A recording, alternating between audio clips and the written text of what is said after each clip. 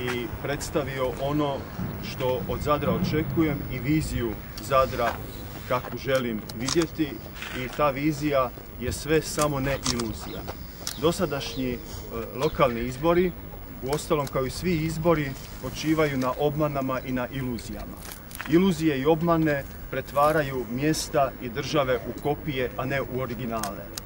Grad Zadar je danas jedna bolna, izigrana, besmislena i kruta kopija. Grad Zadar nije original, nije grad kakav bi trebao biti zbog toga što su mu oduzete emocije. Stoga je i moja motivacija da se kandidiram za gradonačelnika proizašla iz jedne ljutnje.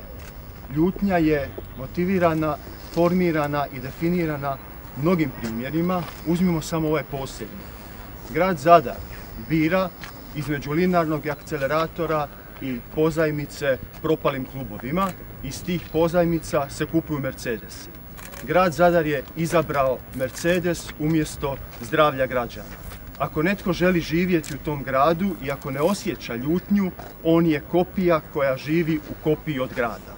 Ja želim motivirati sve oni građane koje osjećaju, grad koji osjećaju svoje sugrađane i koje, koji žele vidjeti budućnost Zadra kao grada koji skrbi, kao grada koji je sretan, kao grada koji je solidaran, kao grada koji pripada suvremenom svijetu koji je obilježen četvrtom industrijskom revolucijom.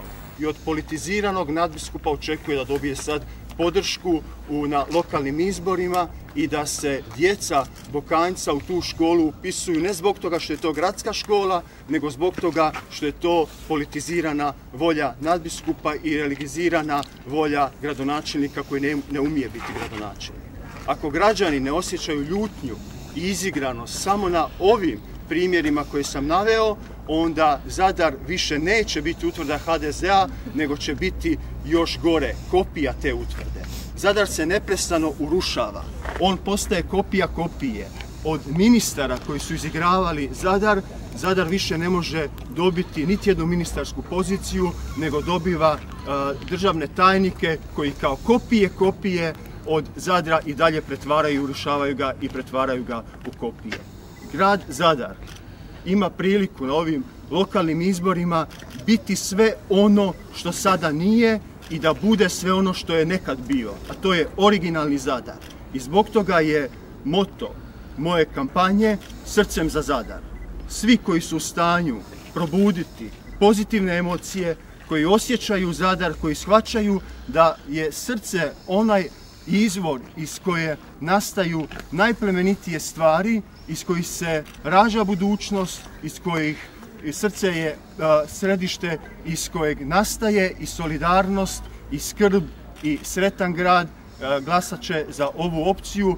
To je opcija koja je sadržana i od aktivista i od različitih stranačkih opcija i od mene kao nestranačkog kandidata. Dakle, sve ono što bi Zadar trebao biti u originalnom smislu sadržano je u ovoj političkoj opciji koja se identificira s Dicom Zadarskom. Svatko tko se osjeća djetetom zadarskim, svatko tko želi biti dijete zadarsko, svatko tko osjeća odgovornost prema budućoj djeci zadarskoj, ima priliku osloboditi vlastite emocije, izgraditi sebe kao građanina Zadra i ovaj grad prepustiti budućnosti, četvrtoj industrijskoj revoluciji, e, rastu humanosti, a ne izigranosti i otužnosti jednog Mercedesa. Zahvaljujem. Mi smo uh, u građanskom smislu zapuštena. Uh, građani Zadra uistinu trebaju shvatiti da na lokalnim izborima oni ne biraju nekoga tko će, koga četiri godine neće vidjeti, nego biraju one zakonitosti koje će u gradu gledati svaki dan, svaki sat i svaku sekundu. Lokalni izbori su najbitniji izbori oni određuju od toga hoće li se onkološki bolesnici liječiti u Zadru ili će se liječiti u Splitu. O lokalnim izborima ovisi i rasvijeta u vašoj ulici, o lokalnim izborima ovisi hoće li na Smiljevcu uh, uh, osjećati se miris ili se neće moći od smrada prolaziti. Na lokalnim izborima se obećava sve i svašta, i, ali to što se obeća i ono što se izabere, to se živi svake sekunde sljedeće četiri godine. Ako građani Zadra nisu zainteresirani za vlastito potomstvo, za vlastiti dignitet, onda na lokalne izbore ne trebaju izlaziti. Ali ako su e, ljudska bića koja shvaćaju koji je smisao slobode, a to je da biraju i da aktivno sudjeluju u vlastitim izborima i u vlastitoj sredini, onda će na te e, izbore izaći.